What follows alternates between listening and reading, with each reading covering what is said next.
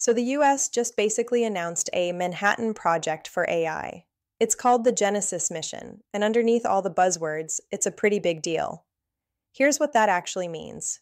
For years, the US government has been sitting on massive scientific data sets climate and weather data, energy grid data, genomics and health data, national security and satellite data, and on top of that, some of the world's most powerful supercomputers at national labs. Most of that has been used in separate silos. Genesis is basically the government saying, let's wire all of this together with state of the art AI models and use it as a single discovery engine. So imagine an AI platform that can help design new drugs and vaccines faster, simulate better batteries, fusion reactors, or grid tech, and assist with national security tasks like threat detection or complex logistics, all powered by federal data and high performance computing. That's the pitch. People are calling it a Manhattan Project for AI because it has that same vibe of we're going to mobilize top scientists, national labs, and huge budgets, focus them on a handful of strategic goals, and try to move way faster than normal government timelines. Except this time, the targets are things like biotechnology, energy, and defense AI, not building a nuclear bomb.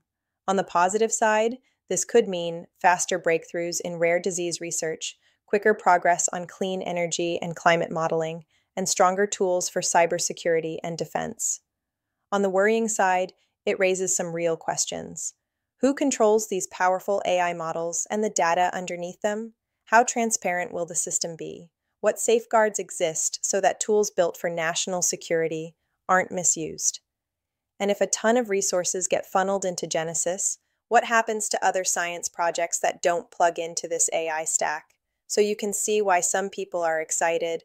Finally, government is using AI to supercharge science and others are nervous about concentrating that much AI power in a single government run platform. Big picture, the US is clearly signaling AI isn't just a cool consumer thing. We see it as national infrastructure and strategic advantage, and we're going to treat it that way. So let me ask you Does something like the Genesis mission, this Manhattan Project for AI, make you feel safer and optimistic about rapid scientific progress? Or does it make you more uneasy about how much raw AI power is ending up in the hands of governments and a small circle of institutions? Because either way, it's a pretty loud statement about where AI is headed next.